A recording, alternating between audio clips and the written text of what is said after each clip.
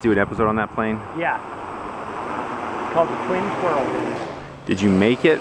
Yeah, Bixler made it. Did he invent it? Or No.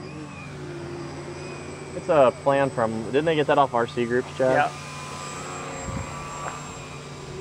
It's probably my favorite scratch build. I love this one. Just because it's it's a piece of flying art.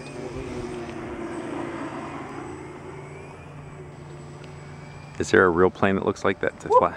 I thought I was gonna hit that pine tree. Is there a real plane that flies like that or not? Uh, I don't think a twin, but there are gy- uh, gyrocopters.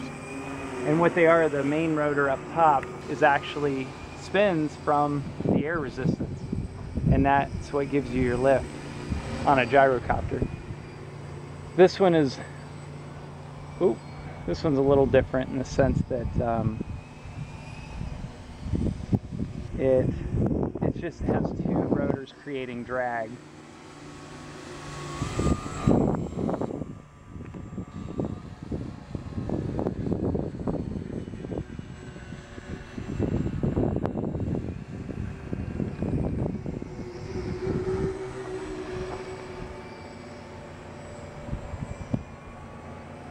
Let me do another flyby.